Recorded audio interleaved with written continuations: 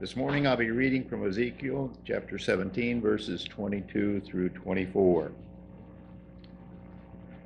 This is what the sovereign Lord says I myself will take a shoot from the very top of a cedar and plant it. I will break off a tender sprig and its topmost shoots and plant it on a high and lofty mountain. On the mountain heights of Israel I will plant it. I will produce it will produce branches and bear fruit and become a splendid cedar.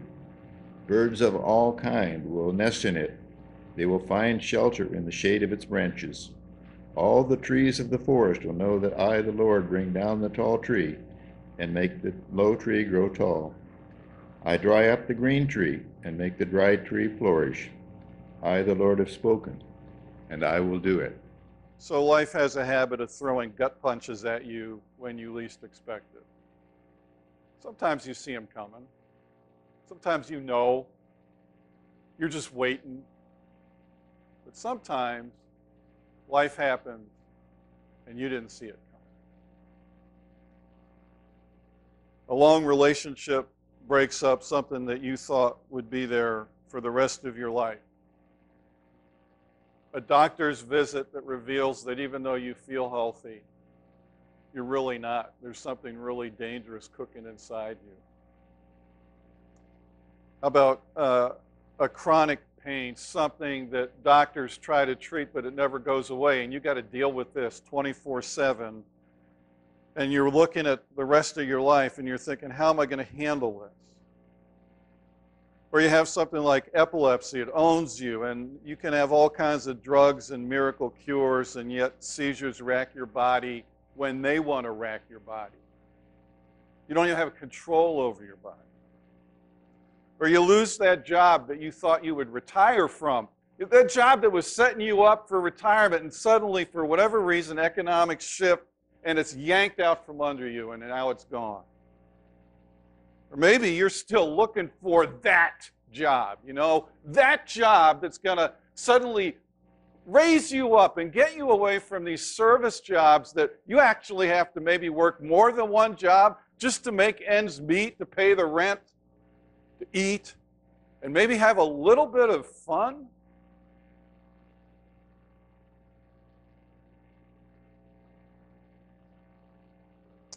That just describes normal people. That's life, right? But add into that mix you're a Christian. Well, what's Jesus done for you lately, right? I mean, I'll be honest with you, I never expected to go into a doctor's office and, and get some horrible diagnosis because, quite honestly, I thought being a Christian meant there'd be a hedge around me that would protect me from this stuff. Well, life woke me up real quick. How about you? You thought God was going to do something wonderful in your life, right? We, we preach this stuff all the time. Uh, you're a new creation. And I believe we're a new creation. But we have this expectation that this new creation would somehow manifest itself in, in the way we live. You know, you wake up and you're a Christian, you know what? You're still in debt. Your marriage is still rocky. Your kids still push your buttons.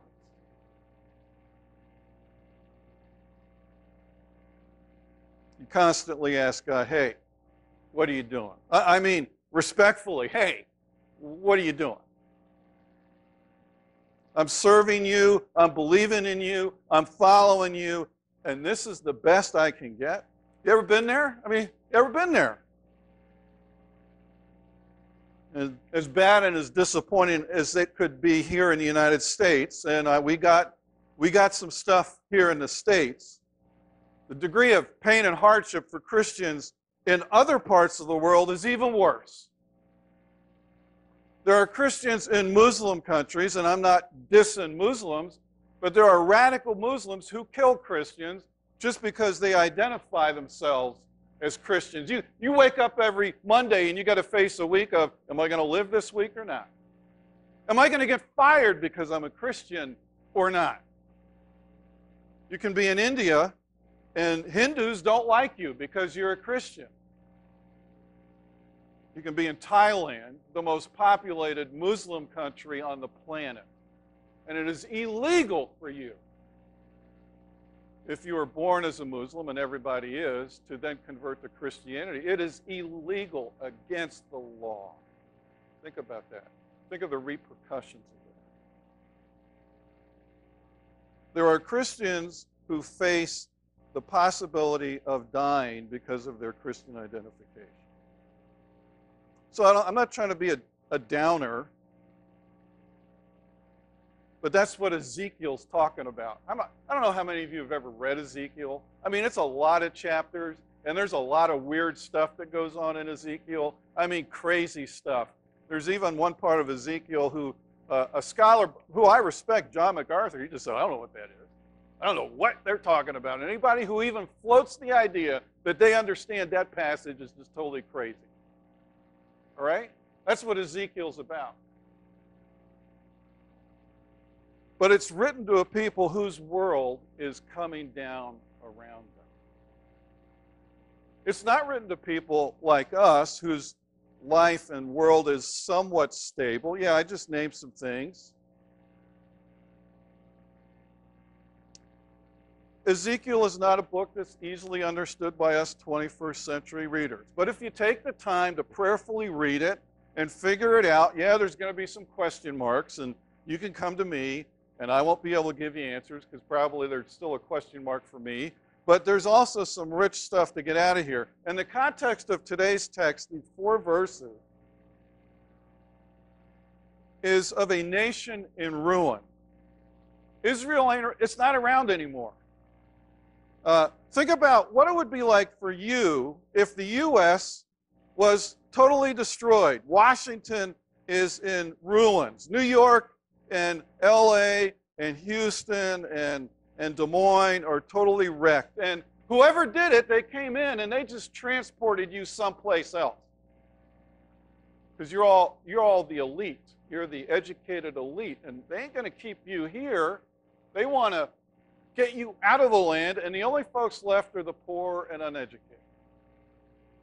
That's what happened to Israel here. The Babylonians came, take the elite, ship them off to Babylon, and all that's left over are normal people. 2 Kings 24 tells us in the eighth year of Nebuchadnezzar's reign, he took Jehoiakim prisoner. That's the king of Judah and as the Lord had said before, Nebuchadnezzar carried away all the treasures from the Lord's temple and the royal palace. He stripped away all the gold objects that King Solomon of Israel had placed in the temple. King Nebuchadnezzar took all of Jerusalem captive, including all the commanders and the best soldiers, craftsmen, and artisans 10,000 in all. Only the poorest people were left in the land.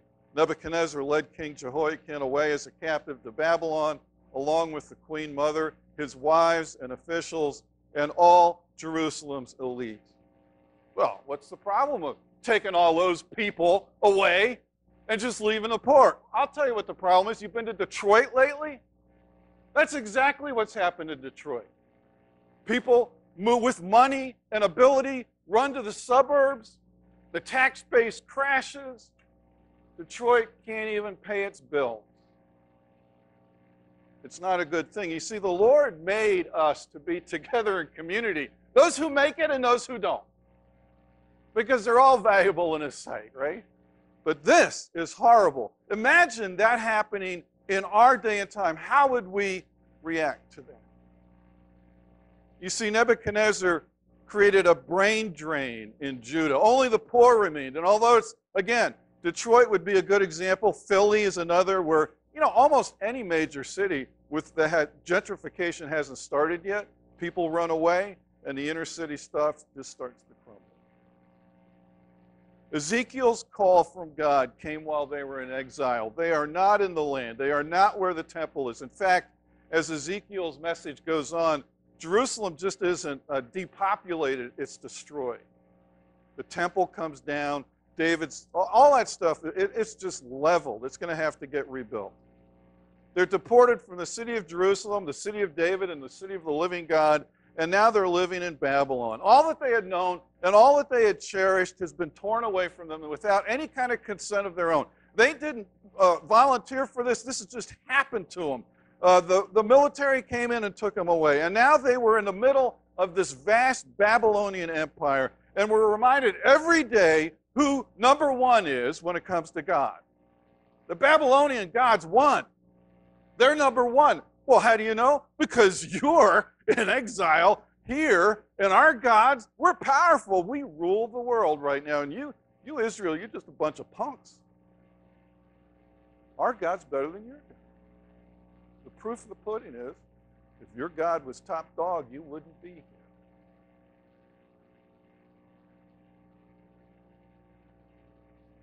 I think if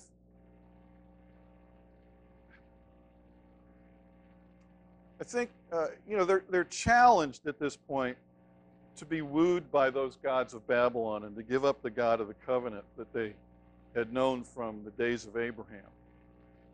And I think that if you and I are honest enough with ourselves, we're susceptible to be wooed by the gods of our own culture, away from the God of the Bible, the God presented to us in Jesus Christ.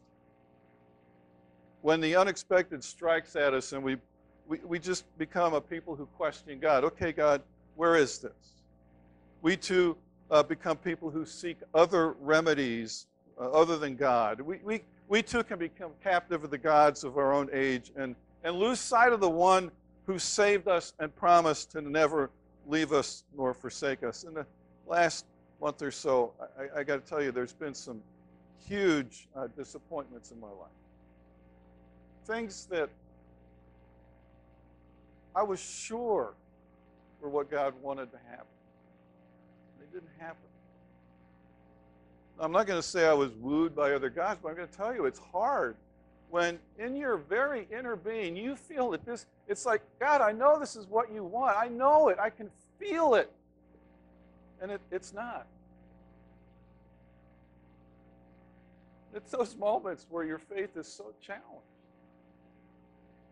And it's in those moments where sometimes some people just say, you know what? I, I don't need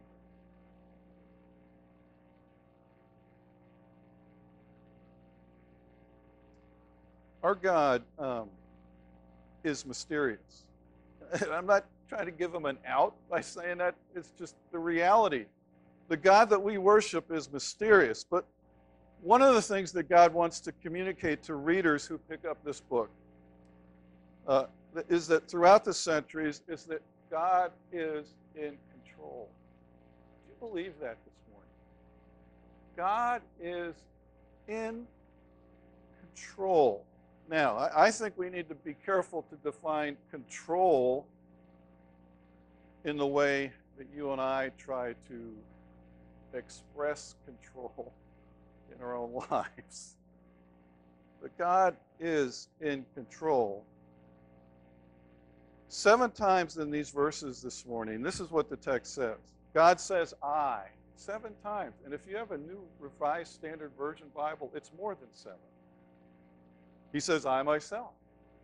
He says, I will break off. He says, I will plant it. He says, I, the Lord. He says, I dry up. He says, I, the Lord, have spoken. And he says, I will do it. He is reassuring people who are, can I say the word crap in a sermon? Crappy situation. He hasn't given up on. it. Life doesn't look like he's hanging out with you right now, but God's saying, I'm here in the midst of this with you. There's something going on here behind the scenes. You, you can see the power of Babylon. You can see the magnificent ziggurats, everything that's been built, the architecture and the hanging gardens and all that. Oh, the power is draped all over the place, but don't be fooled by it, God is saying. Because I'm here with you. Don't believe what you see. Know who I am. Believe who I am. And I've, I've been with you guys for centuries. But I'm sure that the Israelites were saying to themselves, Well, God, this isn't the way I would have done it. I would have done this whole thing differently. But that's just the point. We wouldn't have done it that way. But God testifies in another book by one of Ezekiel's contemporaries, the prophet Isaiah. This is what he says in Isaiah. Uh, this is God speaking. For my thoughts are not your thoughts, neither are your ways my ways, declares the Lord. Just think of it. Let that fit in there for a minute. My thoughts are not your thoughts, and your ways are not my ways. So when you pray to God, don't expect God to do it the way you think it needs to get done, because He ain't doing it the way you think. He does it the way He's going to do it. So the core story of the Bible sketches this out for us. In the New Testament, the Jews are awaiting a Messiah who will finally free them from foreign oppression. He's going to kick them Romans out of Palestine, and we're going to be self determining people again. We're going to have our own king. We're going to be powerful like it was in the day of David and Solomon. They're waiting on this Messiah to show up. They expect someone who's going to show up with an atomic missile, whatever, so that they can take over and kick these people out. And when the Messiah shows up, the one they're waiting for, guess what? They don't see him. He's right in front of them. I'm the Son of God. I'm the Son of David. I'm the Messiah. What? Almost sounded like Scooby Doo right there. What? Sorry. I guess that's two things you shouldn't say in a sermon. But anyway. I mean, Jesus shows up. He's the Messiah. Where's he born? He's not born in royal claws in the palace. He, he's in, he's with the animals. He's in a manger, where you know, feeding trough. His parents are common. His mom was pregnant before they even he, she even knew her husband to be. And then when you come to the end of his life, he dies on a cross like a common thief, stripped naked, ashamed, thrown, you know, thrown to the public. We're shaming this guy. The Romans are saying, We got you, Jews. Look, we killed this guy. He's got no power. And then he's even buried in a borrowed tomb. And yet, this was God's power personified. You see, his thoughts aren't our thoughts, and his ways are not our way. Commoner was the Son of God. That commoner was the Messiah. God's ways of power are not like our ways of power. We look for missiles and guns and arms and strength and body armor. And you know what God looks for when He's going to exert Himself? He looks for humble servants who love Him. That's the picture that Ezekiel paints. While Israel is in ruins, Ezekiel tells the story of God who has never left them and who is doing something behind the scenes. Just listen to this. This is what the sovereign Lord says. Sovereign means he's number one. All right. I myself will take a shoot from the top, very top of a cedar and plant it. This is all imagery. Don't take it literally. He's painting a picture. I myself will take a shoot from the very top of a cedar and plant it. I will break off a tender sprig from its topmost shoots and plant it on a high and lofty mountain. God is going to do something about creating a kingdom. You see Babylon all around you. I'm creating something bigger, higher, cooler, more livelier. That's what he's saying. And then he goes on, he says, And this kingdom is from the Lord. I will do it. It's not coming from the Babylonians. It's not coming from your best efforts. It's something I'm creating. And then he goes on. He says, On the mountain heights of Israel I will plant it. I will produce branches and bear fruit and become a splendid cedar. Birds of every kind will nest in it, and they will find shelter in the shade of its branches. All the trees of the forest will know that I, the Lord, bring down the tall tree and make the low tree tall. I dry up the green tree and make the dry tree flourish. In other words, all these kingdoms are going to know, all those principalities and powers are going to know that God did this. But he's going to take some lifeless tree and make it flourish. He's going to take some short sapling and make it really big. So big that all kinds of birds will be able to nest in it. I don't know how the Israelites felt about that. They may have thought, This should only be an Israelite bird, that, but it's all birds get to nest in it.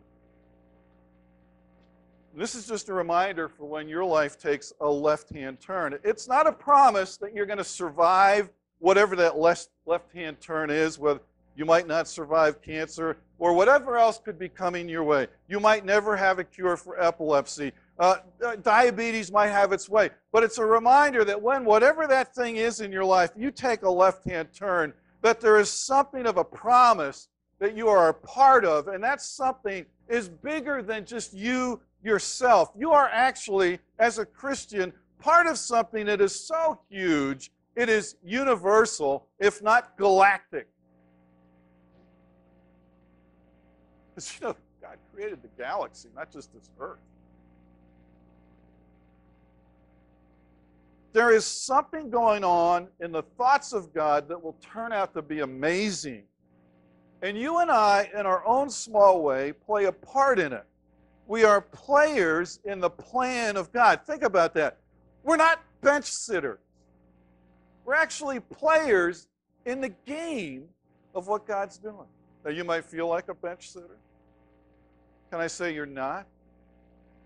You are a, you know, so Paul uses that body terminology. How can the hand do if the ear doesn't hear and all? You know, he's basically saying everybody's got a part to play. We weren't picked last. We're not left on the bench. Jesus' death on the cross tells us that we're all part of this thing that, that, that God is doing, this big thing. And I think it's cool that this tree will give shade and rest to every kind of bird in the air. Not just one species, but all species. And I can't help but thinking about Revelation 7. I even think I read this last week. Revelation 7 9 says, After this, this is John reading this vision. I looked, and there before me was a great multitude that no one could count, from every nation, tribe, people, and language, standing before the throne and before the Lamb. And they cried out in a loud voice, Salvation belongs to our God who sits on the throne and the lamb and to the lamb as well. There is this thing that God is building that every nation, tribe, people, and language will give praise to God because they will fall into alignment and worship of this God, the Lamb. Jesus tells us a similar story in the Gospels, and I'm going to just go to Mark 4. Uh, what can we compare the kingdom of God? It is like a grain of mustard seed, which, when sown on the ground, is the smallest of all the seeds on earth. Yet, when it is sown, it grows up and becomes larger than all the garden plants and, uh, and uh, branches out large branches so that the birds of the air can rest in its shade take, make nests in its shade. Hear the similarity? This is what our God's doing. Something that's not just for one particular group or class of people, but something that is for everyone. The opportunity is provided by God for people to nest in the shade of this thing called the kingdom of God. The story goes on. The tree keeps growing all the different birds of the air, you, me, and that other person that maybe you know are finding shade in its branches. It, it might not mean that everything works out for you or for me or that other person when it comes to our personal lives, but it does mean that when it comes to our faith, we're part of something that isn't going to end. We're investing energy and money and thought and time and all this stuff into something that is going to pay off in the end. There's going to be a victory, and wrongs will be righted, and justice will prevail, and mercy will come down like the rain. That is what we're invested in as Christians in a local church. And no matter what it looks like right now, there's something really amazing coming down the pike. And that's meant to encourage us when your life takes a left turn. You and I have a God who will bring the plan to its fruition. And that plan calls for a new heaven and a new earth. New meaning it's different. Yeah, there will be a great multitude who worships the Lamb. You and I will be a part of that worship service. And I here I'm, I'm going to close with another video. This was in our Father's Day lineup of videos. It's something that I've shown. I didn't show this video but I've shown a video about this father son. They're called the Hoyts.